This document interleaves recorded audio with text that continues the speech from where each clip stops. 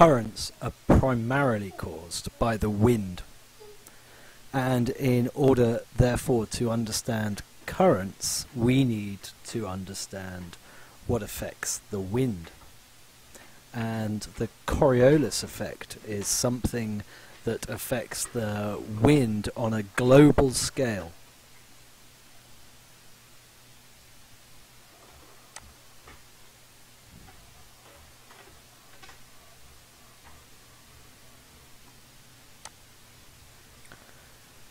What affects the wind's direction? Well, the wind is air moving from high pressure areas to low pressure areas. And in general, the equator is a low pressure area and the poles are high pressure areas. Therefore, we would expect the wind uh, to move basically in a straight line from the poles to the equator. But it doesn't. Why doesn't it? Well, the Earth is rotating. And the fact that the wind is trying to move from the poles towards the equator at the same time the Earth is rotating is what causes the Coriolis effect. Good. So the Coriolis effect is an apparent curve of the path of different objects as they move within something that's rotating. For us, we're going to focus on the Coriolis effect in wind. Now, we all know that air always moves from higher pressure to lower pressure. So in this diagram here, we've got a high pressure system and a low pressure system.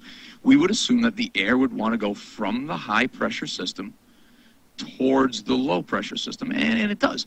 But since the Earth is rotating, the actual motion causes that wind to curve to the right, at least in the northern hemisphere. In the southern hemisphere, it'll curve to the left. So the wind will do that. The wind will curve to the right as it's moving along instead of just going straight from high to low. This, the reason this happens is because the Earth is rotating. It's known as the Coriolis effect. So if we look at, uh, here's a nice definition for your notes, the wind appears to curve due to the Earth's rotation. That's why this curve happens. It's all because the Earth is spinning, all because the Earth rotates. If the Earth was staying still, if the Earth wasn't spinning, then the wind would move straight, the air would move straight from high pressure to low pressure. We wouldn't have this apparent curve that we see. If we take a look at a, glo- at a globe, here's the Earth. If we put a high pressure here, and let's put a low pressure here. So there's our high pressure and our low pressure. We would assume that the air would move from high to low, and it does. The air, the air is going to try and move from high to low, but it's going to curve to the right. In the southern hemisphere, that curve is to the left. So if there's a high pressure system here, a low pressure system over here. In the southern hemisphere, the air wants to move from high to low, but in the southern hemisphere, that curve is to the left. It sets up certain wind belts or patterns of wind on the Earth. So if I take a look at the Earth here, there's zero degrees, which represents the equator, and I've got a few others on there as well. The wind is going to move towards the equator. The equator tends to be a lower pressure area. So as the wind is moving towards the equator, it's going to curve to the right. So between 30 degrees north and the equator, the wind tends to move like this. In the southern hemisphere, it's the same thing, but remember now instead of curving to the right, we're curving to the left.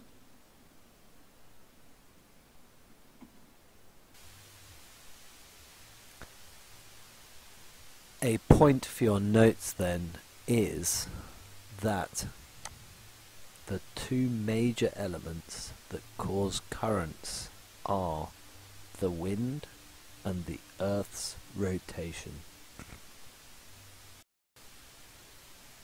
Now we understand what affects the wind, we need to understand what affects currents. Well, we know that wind affects currents and that wind that we have that is curving in one direction in the northern hemisphere in the other direction in the southern hemisphere is why the currents in our oceans circulate in opposite directions uh, in the northern hemisphere, the wind's direction causes currents to swirl in a clockwise direction.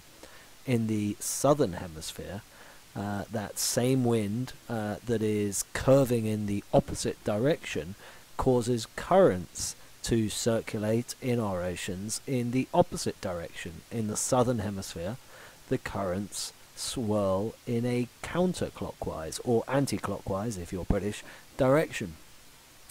And that is a very good point for your notes. In the northern hemisphere, currents run in a clockwise direction. In the southern hemisphere, currents run in a counterclockwise direction. The question may well be uh, more difficult than that, though. They may give you a specific coastline and ask you to explain what direction the current will run in along that coastline. For example, the current along the west coast of North America. In what direction will it run? Well, it's either going to run north-south or south-north.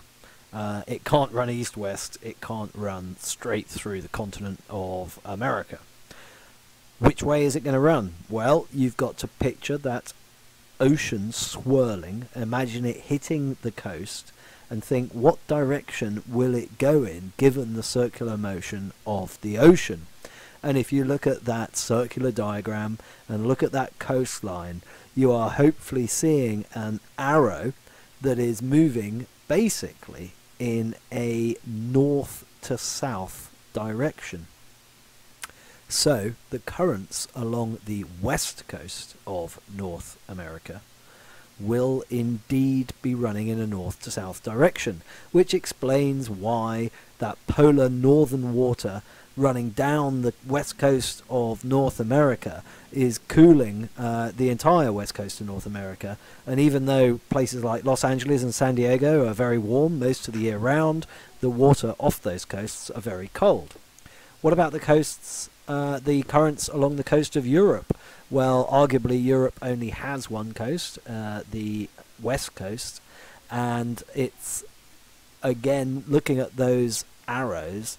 You will see that the arrows, the circulation of the ocean, will have the water running in a north to south direction. So you've got cold polar water moving down, being drawn down those coasts, and that would again explain why on those coasts you have some uh, very cold water. I chose a world map for this uh, diagram uh, that gives precedence to the Pacific and Atlantic Oceans to make it easier to draw diagrams on it. And the next question we've got here is going to now focus on the southern hemisphere. Uh, and I've made a little bit of a typo. I meant to write South America, not South Africa. I'm too used to world maps that have the Greenwich Meridian in the centre of them. It doesn't really matter though, because when you get a question asking about uh, the continents, it's the whether it's a southern continent or a northern continent, and whether it's the west coast or the east coast that really matters. Whether it's Africa, America, makes no difference to what your answer will be. So when you look at questions in the southern hemisphere, uh, obviously that last question that we just looked at there, uh, it was the west coast of South America, and of course uh, we could see that the arrow was circulating the ocean from a south to north direction. If we look at the east coast of South America, we can see that the arrow is circulating the water in a north to south direction, and that is basically how you answer these questions. Um, the Great Pacific Garbage Patch is obviously explained by what we've just been looking at here that circulatory motion of the Pacific Ocean and all the garbage collecting in the middle of it. There's a lot all of us can do to reduce our use of uh, plastics, particularly single use plastic. Say no to straws, say no to styrofoam boxes. To answer a question in the exam, here's the doodle I would draw on a bit of paper. If the question was asking about a continent in the northern hemisphere, I would just draw a line, and then the left of the line represents the west coast, the right of the line represents the east coast. I can draw my clockwise direction circle because I'm in the northern hemisphere, and then I can clearly see that on the west coast that arrow is pointing from the north to the south.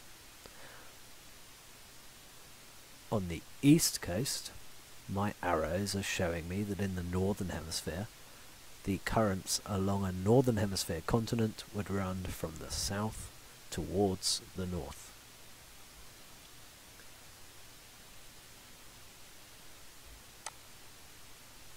If the question was asking about a southern hemisphere continent, South America, South Africa, whatever it may be, I can draw my same line. I can draw the west coast to the left of the line. I can draw the east coast to the right of the line. And then I can draw my circular arrows going in a counterclockwise direction because it's the southern hemisphere. And that shows me that on the west coast they would be running from the south towards the north, and on the east coast they would be running in the opposite direction. They would be running from the north towards the south. I don't want to labour the point, but too many people answer this question wrong in my IDCs.